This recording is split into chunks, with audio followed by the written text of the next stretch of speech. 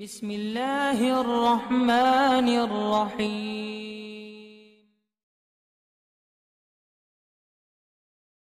وعلیکم السلام، ان صاحب کا سوال ہے، حضرت راستے میں پیسے ملے، تو اسے استعمال کر سکتے ہیں یا پھر کسی مسکین کو دینا چاہیے؟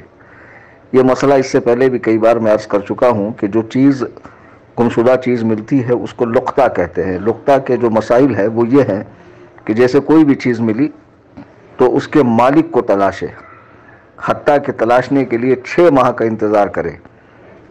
جو بھی ممکن ہو اخبار سے، نیوز سے، سوشل میڈیا سے، اعلانات کے ذریعے لوگوں تک اطلاع کروائی جائے کہ فلاں چیز گمی ہے، جس کی ہو آ کر لے لے۔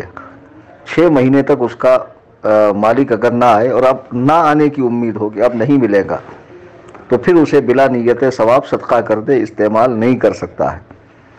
اب اس کو صدقہ کر دیا اور بعد میں اس کا مالک مالک ملا اس چیز کا، تو پھر وہ چیز اس کو لوٹانی پڑے گی اور جو صدقہ کیا تھا اس کا ثواب انشاءاللہ الرحمن اسے ملے گا۔